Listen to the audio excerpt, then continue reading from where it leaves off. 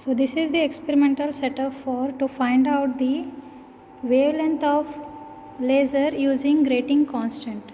So here is the grating and grating stand. This is the screen. So this is the experimental setup to determine the wavelength of a laser using grating element. So here we put the grating element on this grating stand. So this is the grating having the number of lines on that so around 15000 lines are there on this grating. So once the laser light passes from this grating passes through this grating we are going to get the order of spots here on the screen. Zeroth order middle one and the first order second order. Little bit faint. So here we are going to get the different orders of the spot due to the when uh, this light passes from this grating. Because of the fine lines on the grating the light is going to be diffracted. So we are going to observe the spots on the screen here. Zeroth order first order and second order. So here is the experimental setup we can understand with the help of diagram. First we should note down the distance between the grating and the screen. Then we have to measure the distance between the 0th to the first order and 0 to the second order using the scale. So use the scale to measure the distance between grating and screen.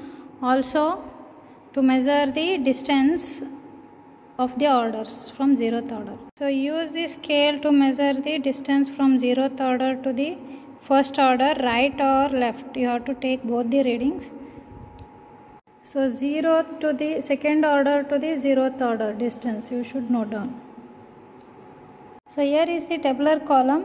So for different distances, distance between grating and screen, you should note down the order of the spot, first and second order right and left right and left distances. Then take the mean.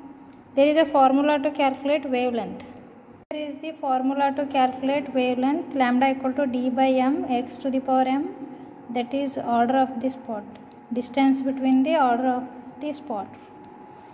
X to the power m x m square plus d square root of that d is the grating constant. D distance between grating and screen. M order of the spot. Xm distance between central and nth spot. Grating constant of this grating element is 1.69 into 10 to the power minus 4 centimeter. So here you can see the 15000 lines per inch. That means 1 inch is 2.54 centimeter if we divide it by 15000 we will get the grating constant around 1.69 into 10 to the power minus 4 centimeter. Formula they have used 1.69 into 10 to the power minus 4 centimeter grating constant d. So here the wavelength of this laser is 6328 angstrom. So wavelength of uh, this laser helium neon laser and its color is red.